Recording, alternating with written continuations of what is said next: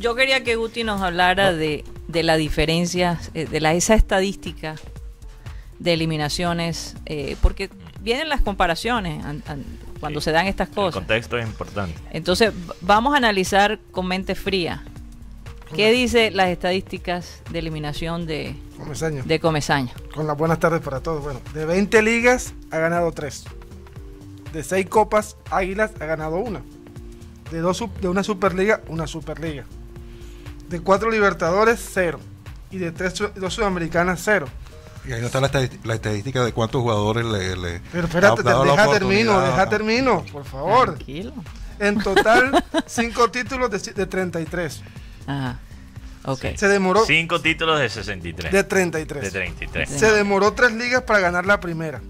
Y 4 copas para ganar la primera. Tres ligas. O sea, Tres ligas, siete, claro. o sea, siete Tres ligas. eliminaciones. Claro, los dos- las, dos, las, tres primer- las dos primeras llegadas de Comesaña, ¿Cuándo fue? Recuérdame. 88.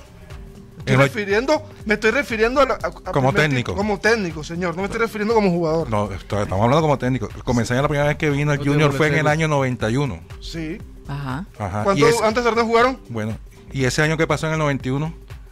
¿Qué pasó? Lo de Ferreira.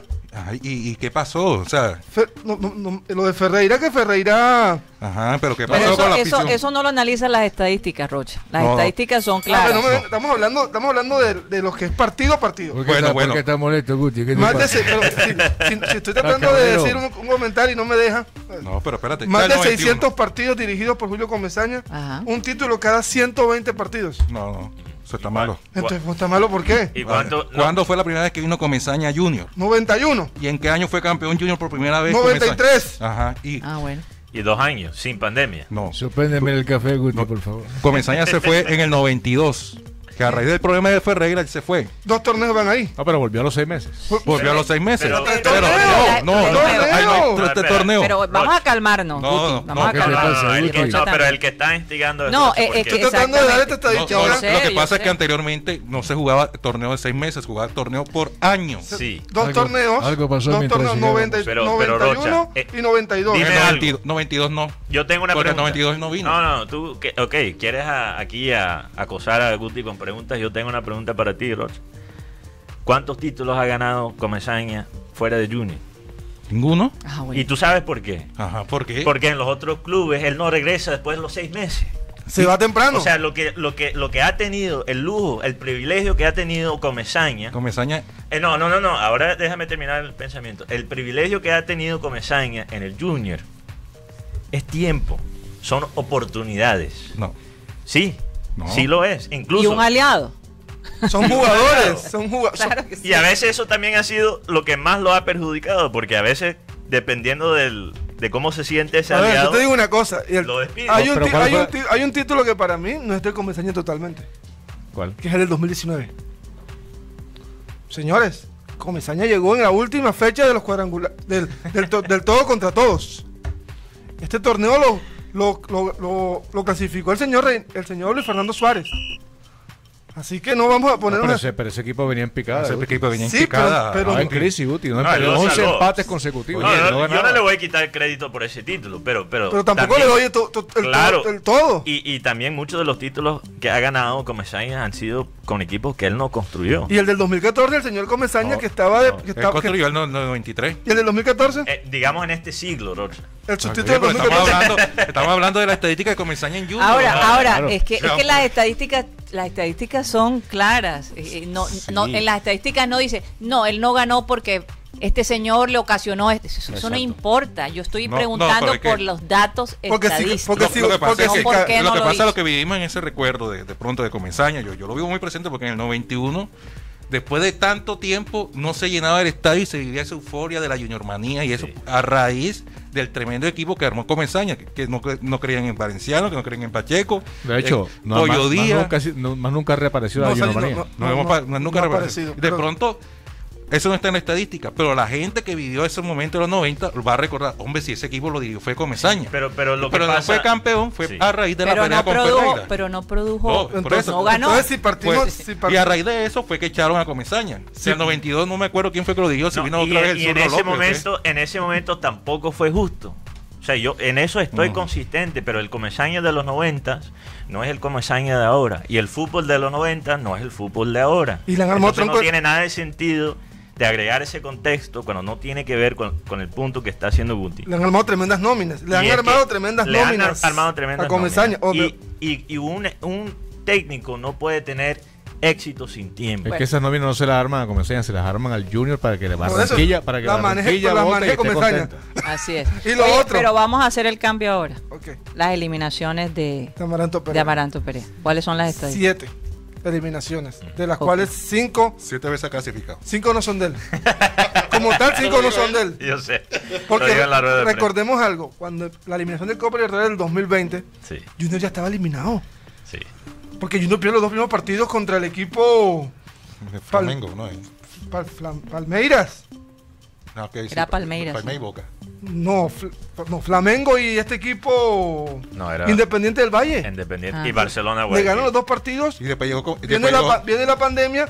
Junior, No. le- Junior gana dos partidos más. Con- incluso Junior con ni siquiera, ni siquiera incluso estaba para la Pero Sudamericana. es que el equipo se elimina por la derrota aquí en Barranquilla, ¿no? Sí. Sí, ¿Quién era el técnico? Perea. Pero Junior ni siquiera era para Junior en ese momento estaba para quedar eliminado. No, pero es que- todo- Y iba a terminar de cuarto. No, pero- ah, tengamos claro algo, tengamos claro algo. Para la estadística, para la historia, y yo pienso que para la gente del fútbol, cuando un técnico se empotra en un equipo, más allá de que, ojo, muchos tienen el recurso, comillas, de decir, este equipo no lo armé yo, ¿ah". Eso lo dicen, lo dicen con una frecuencia. Yo no, Sí. no esta nómina, yo me, me trajeron estos jugadores. Pero el técnico que queda en el registro es el que está en ese Claro. momento montado en el caballo eliminación. si es eliminación o si es campeón.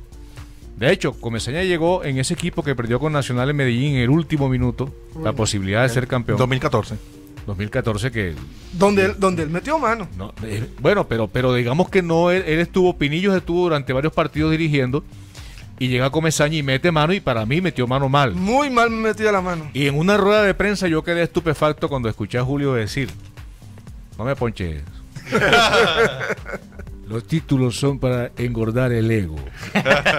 Los títulos solo sirven para engordar el ego. Eh, Lo entonces, pa- recuerdo muy entonces, ¿Para qué bien. Yo decía, yo decía, no puedo, no puedo creer esto. Lo recuerdo ¿qué- para muy qué bien. sirve ser campeón? Solamente para el ego de los técnicos. Imagínate. Una rueda de prensa, tú estuviste en esa rueda de Ah, prensa. lo recuerdo muy bien. Pero yo, yo después interpreté, bueno, tal vez Julio dijo eso porque no estaba para una raya.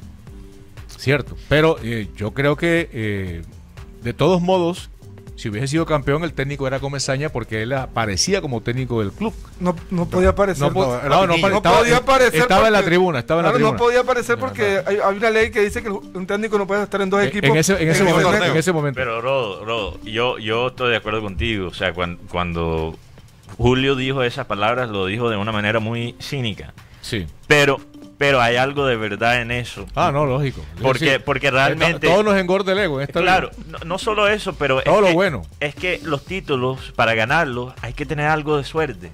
Claro. Y Amaranto no tiene Y suerte. No Amaranto tiene- no la- no ha tenido. no tiene la suerte y lastimosamente para mí la crítica más grande que se puede hacer hacia Amaranto es que tampoco se ayuda, no, no, le- no se ayuda a crear esa suerte porque la suerte también se puede crear. Y fíjate que, Ah. que Rocha eh, decía algo que a mí me parece que es verdad. O sea, eh, Comesaña ha estado nueve veces en el club, pero esas nueve veces estuvieron muy cortadas por distintas situaciones. Yo recuerdo una vez, eh, me encontré en el aeropuerto con, con el senador y le echó un vainazo porque había traído a, a Alves.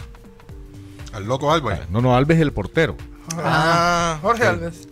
No me acuerdo el, el nombre de Pira, sí, pero sí es uruguayo que había estado en la selección uruguaya. Pero él había tenido un problema en sus manos, un accidente o algo así. Y entonces dijo, el máximo accionista dijo, oh, Comesaña trajo una cantidad de jugadores, trajo un arquero lesionado, que no sé qué.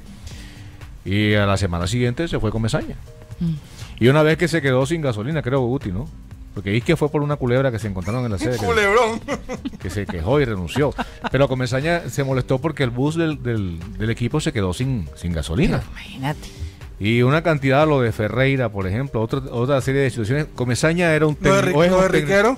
¿Recuerda que trajo un jugador que Matías Riquero? Matías, Matías Riquero. Y nunca jugó. Es un, es un técnico que entraba en conflicto ya fuera con los directivos, con los jugadores o con el periodismo. Mm. O sea, él se desgastaba muy rápido, porque cuando llegaba, la prensa lo rodeaba y sí, me parece muy bueno volver, que no sé qué, que tal.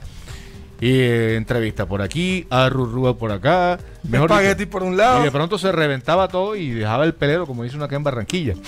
Entonces no fue un técnico que, que tuviera una constancia, además porque entraba en conflicto con la tribuna. Él no podía evitar que esa mentadera de madre de pelo de burra Hewlett Packard. Eso él lo haría. Yo recuerdo cuando yo cuando yo hacía camerino con, con FPC, que yo me quedaba. Bueno, ese es el privilegio de, la- de los dueños de los derechos. Sí, sí. Uno se queda, uno entraba al camerino y era el, era el, el último en salir y el primero en entrar. Eh, especialmente cuando se acababan los partidos. Y recuerdo una vez alguien tuvo acceso, se le saltó del foso. En esa época se podía, no sé si aún se puede lanzar del foso hacia la, de la grada hacia el foso y, y en la zona esa había unos calados hacia el camerino. Y, y uno escuchaba. Y uno escuchaba, entonces el tipo empezó, ¡eh, pelo burra! ¡Eh, Hewlett Packard, que no sé qué! ah, eh, MP, que no sé vaina! Y, y entonces Comesaña no se contuvo. Claro. Pero de burra tu madre, que no sé qué. Y, y pe- peleando con el tipo por los calados. Y, y lo iba correteando de aquí hasta allá, insultándose mutuamente. Oye, es que. Y, y- y además me imagino que la atención del partido, tú sabes, Claro. ya uno tiene los, yo- los ánimos Entonces un poco. Julio se fue llenando de, de- de costras y, de, y, y se puso un caparazón ante que no es eso. fácil la hinchada. Por eso, no por es eso. Amaranto tal vez ha resistido tanto, porque yo creo que Amaranto, con esa tribuna llena de gente recordándole a un ser querido, No. cierto. y además a Amaranto le pusieron un apodo todo desagradable, porque a Julio le decían pelo de burra, pero a Amaranto le pusieron disque el camello, no sé por qué. No había escuchado. No digas cabello porque. hasta ahora No lo había escuchado. Bueno, no sé, mira la- las fotos. Entonces, eh, No, ni- ¿tú, ni te imaginas, patrocinemos tú eso. te imaginas a la gente insultando a Amaranto porque es que a Julio lo Y yo, insultaba. yo creo que eso a él le va a resbalar. No, es que yo creo que realmente esos No insultos sé, Karina, los insultos hieren. lo Sí. tendríamos que ver. Mira, aquí en Barranquilla hizo carrera. ¿Te acuerdas del Barracín? Si es, sin, si es sin público y ve uno la angustia de, de, de Amaranto, ¿verdad? Con público. Mira, Pero la angustia de, de Amaranto no es, o sea, es, es por lo que está viendo en la cancha. Bueno, ¿Quién no le va a dar angustia perfecto. ver a, a No. Larry Vázquez pasar la bola? Ahora imagínate, y ahora imagínate, y ahora imagínate, no tiene nada que ver porque no juega. Pero- y ahora pero la gente insultándola. Yo, ¡Ah, yo no creo, yo no creo que, que un- alguien que jugó como capitán de Atlético Madrid, que jugó en Boca, o sea, pero, con, pero con es una que, pero es que tribuna, la, tribu- la tribuna acá es cosa seria. es cosa sí. seria, que aguantó claro. cholo. a que es Pero, perreteador. pero tú me vas a decir que la Ahora, pero también para los jugadores, señores, no no solo para Amaranto, los jugadores también Sí, van No, a es que tener que Moreno, lidiar Moreno- con Moreno eso. es el caso patético, Lucho Grau, Carlos Araujo, esos jugadores han tenido el desfavor de la tribuna. Luis Carlos Ruiz. Luis Carlos Ruiz.